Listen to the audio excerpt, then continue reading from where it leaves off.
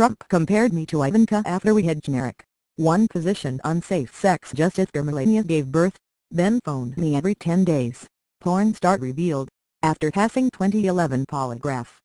Porn star Stormy Daniels took and passed a polygraph test in 2011 as she talked about her textbook generic sexual relations with the married Donald Trump more than a decade ago, In Touch Weekly claims. We had really good banter. He told me once that I was someone to be reckoned with, beautiful and smart just like his daughter, Daniels, whose real name is Stephanie Clifford, told the tabloid in a story that In Touch released this week, on the heels of other news reports about the president and the porn star.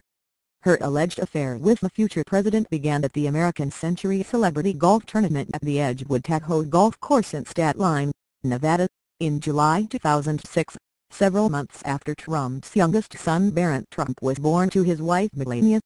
The now 39-year-old adult actress described their initial sexual encounter with the billionaire businessman as nothing crazy and admitted to the tabloid the two didn't use protection.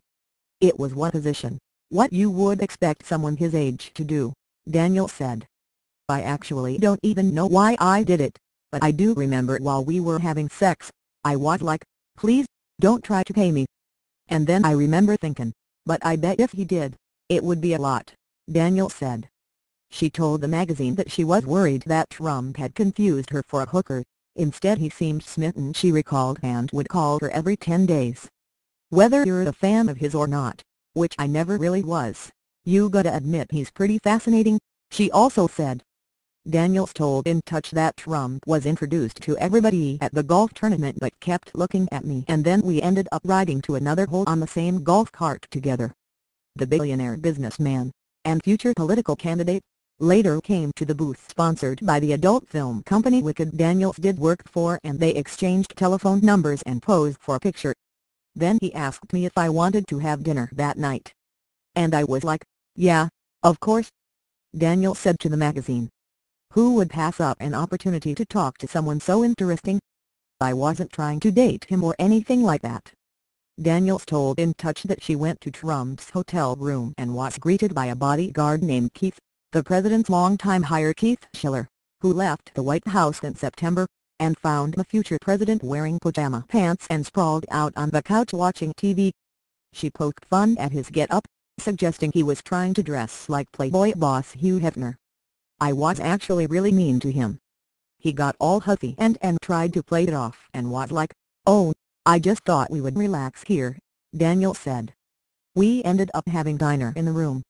This account slightly differs from how Daniel's friend, adult film star Evans, described the evening during an interview Tuesday with NBC's Megyn Kelly. Evans said Daniels ate dinner with her before heading to Trump's room for a private party. And that's when Stormy started calling me.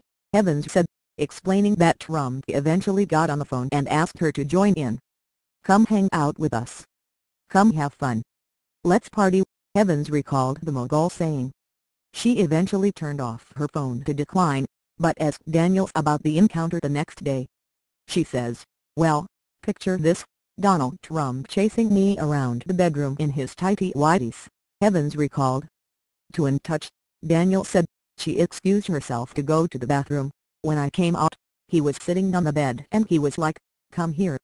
And I was like, Doug, here we go. And we started kissing. We hung out for a little while and he kept saying, I'm gonna call you, I'm gonna call you. I have to see you again. You're amazing. We have to get you on The Apprentice, she recalled to In Touch. Daniels also described some of the promises that Trump made to her to Slate's Jacob Weisberg, who had talked to the porn star in the run-up to the 2016 election, but was concerned his story wouldn't pass muster once Daniel stopped answering the journalist's calls. On Tuesday, Weisberg recounted being told by Daniels that she had had a sexual relationship with Trump in 2006 and 2007, which started in a hotel room in Nevada. To Weisberg, Daniels also described the sex as dull and said that Trump had made her a lot of promises. Porn star Randy Spears corroborated Daniel's story when he talked to In Touch in 2011, saying Daniels described it as pretty boring, while her ex-husband Mike Moz told the magazine that he remembered Daniels and Trump talking on the phone frequently after meeting on the golf course. She didn't allege any kind of abuse, insisting she was not the victim, Weisberg wrote for Slate. The worst Trump had done, she said, was break promises she'd never believed he would fulfill. She claimed he'd offered to buy her a condo in Tampa, Florida, and that he'd said he wanted to feature her as a contestant in an upcoming season of Celebrity Apprentice, he added. Weisberg noted that Daniels said the affair continued for about a year, which Daniels also told In Touch, noting she had met Trump in other cities, including Los Angeles. However, the most damning thing Weisberg found out from Daniels about Trump, a thrice-married ladies' man who's been accused of sexual harassment and assault, was that he had offered, through intermediaries, to pay her off.